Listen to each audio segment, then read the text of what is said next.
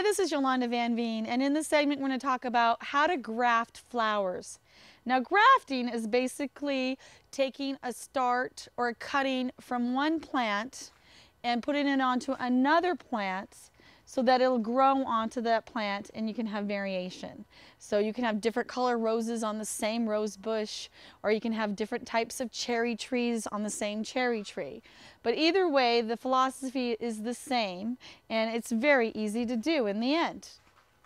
So when you're cutting a piece of rose, for example, off another plant to put onto the plant, you want to use a really sharp knife and you want to cut at a complete angle.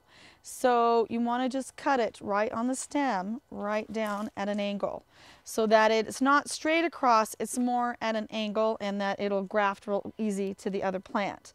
A lot of times I'll pull off just a couple of the side leaves as well. Now there's different ways that you can graft onto the other rose. You can make what they call a little T cut. So you're just kind of cutting in but not all the way across, just through the bark barely on both sides and then you just kind of peel it off so that you got to the, to the actual stem. And then once you've got that part, you can take this part and then put it right into where you've made the hole and then that will grow onto that. Now you can use all types of tape. I found masking tape works just as well as any other kind and you just want to tape that onto the plant.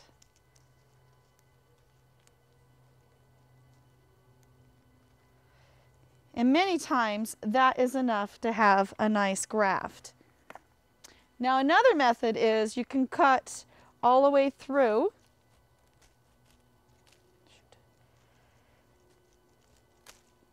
and then you cut a stem all the way through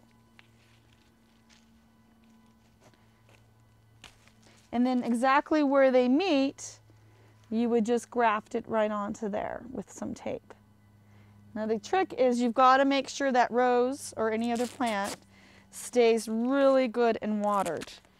A lot of people say too by putting some honey in between or any type of peanut butter in between too, it makes a little more of a graft. And see where they've just met, you kind of connect them and a lot of times it will take. Grafting is really an easy process and you just keep practicing and you will find in time you can come up with all types of new varieties of plants that way.